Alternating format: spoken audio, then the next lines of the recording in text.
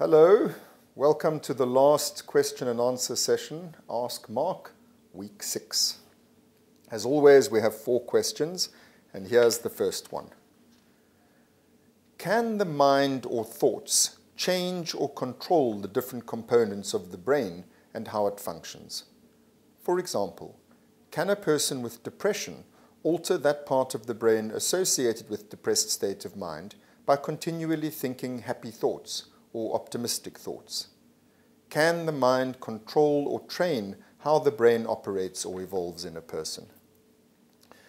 Um, despite appearances, there's actually a number of embedded levels to this question. So I'm going to address them in turn. Firstly, can the mind change the brain? This is a conceptual um, error, if you will. In my view, the mind is the brain. Uh, the mind is the brain observed from within, the being of the brain, the experiencing from the inside, the subjective um, appearance, the subjective perception, the subjective being of the brain is what we call the mind looking at the same thing from the outside, the objective perception of the mind as an object, the mind as a thing. Uh, that is to say, you looked at from the outside, you're a body, and in particular, you're a brain, because that's the part of your body that feels like something from within. So when you ask, can the mind change the brain, it's a, it's a, um, it's a, a it's a question that's posed in the wrong way, um, because when the mind changes, the brain changes. When the brain changes, the mind changes. Um, so to zoom in onto your question about can um, a depressed mind, uh, which is a depressed brain, can it, by becoming a happy mind, become a happy brain? And the answer is yes. Uh, that's something fundamental has changed, uh, which is going to be the same thing as feeling different uh, uh, the same thing is the neurotransmitters being different. So low dopamine feels unmotivated, unpositive, unenergized, that is to say, depressed. Um, feeling depressed means low dopamine. Uh, can you increase the dopamine by not feeling depressed? Yes. By increasing the dopamine, you won't feel depressed. By not feeling depressed, you'll increase the dopamine. Do you see what I mean? They really are just two different ways of saying the same thing. That's why I say there's actually an embedded series of questions here, because I think what you're actually asking is can optimistic thoughts change negative feelings? That's not a mind changing a brain.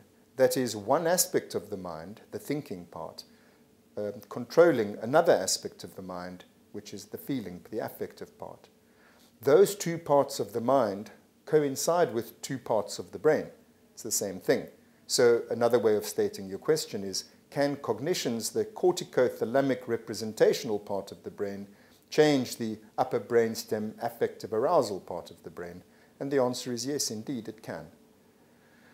Um, in fact, the whole function of thoughts is to manage affects. That is to say, the whole business of thinking, mental work, is how do I manage my feelings, which represent my needs? How do I meet my needs in the world?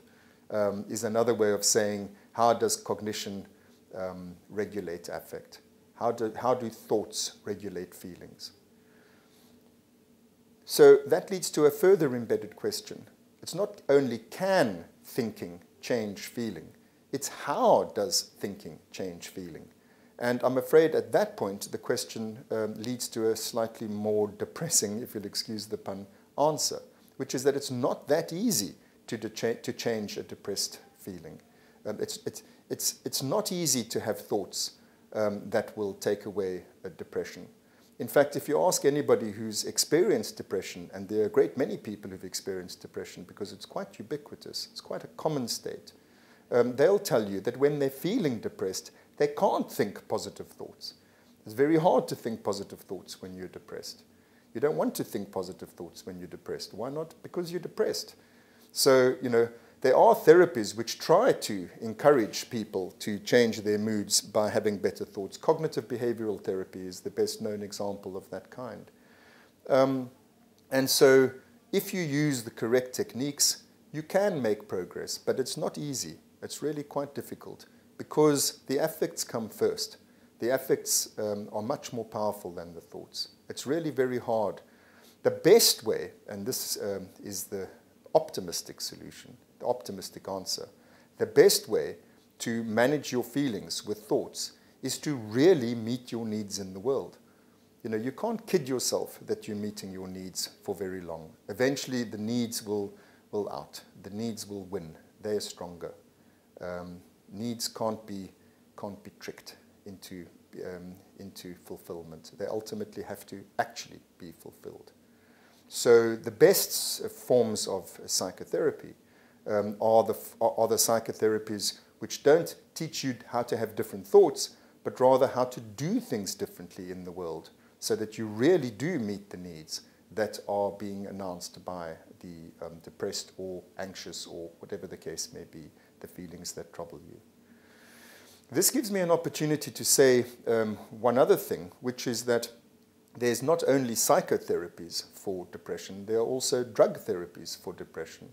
And drug therapies act on the feelings, they don't act on the thoughts. Uh, they damp down the feelings. And this is what most patients want. They say, please take away this feeling. Um, and the psychiatrist obliges and gives a drug which takes away the feeling. But in my view, that's a symptomatic treatment. It's not a causal treatment. Because what you've actually done is taken away the feeling which tells you that you have a need that's not being met. Uh, taking away the feeling doesn't take away the need in that case. It's an artificial taking away um, of the feeling. The feeling really should still be there, telling you that there's a need that you haven't met. Now, when we're suffering, we're, we, we need to take away symptoms. It's, symptoms can be unbearable. So I'm not saying that uh, there shouldn't be symptomatic treatments. Thank heavens for symptomatic treatments but they don't fix the underlying problem. They are symptomatic treatments. Um, and they open a window, they make you able to do the psychotherapy that's needed to actually change how you're living your life. Um, that's the really causal cure. Uh, and that's why, um, in most um, studies of the efficacy of antidepressant drugs, uh, we find that antidepressant drugs plus psychotherapy has much better outcomes than the drugs themselves. One last footnote to this question. I'm talking about depression because that's the example that the questioner uses. But depression is not the same as any old affect. Depression is a whole constellation. It's a sort of a fixed state. It's an outcome uh, of a whole lived life. Um, there are fleeting affects um, which are not so structured, which you can easily change with thoughts. Um, and if you, if you think back to two weeks ago, when I gave the example of the laughing clubs and how you can, just by making the movements um, of laughter, you can bring about the feeling of happiness. That applies to a great many affects, but those are fleeting, trivial little affective states. They're not structured personality um, uh, organizations. Okay, so that's my answer to question one.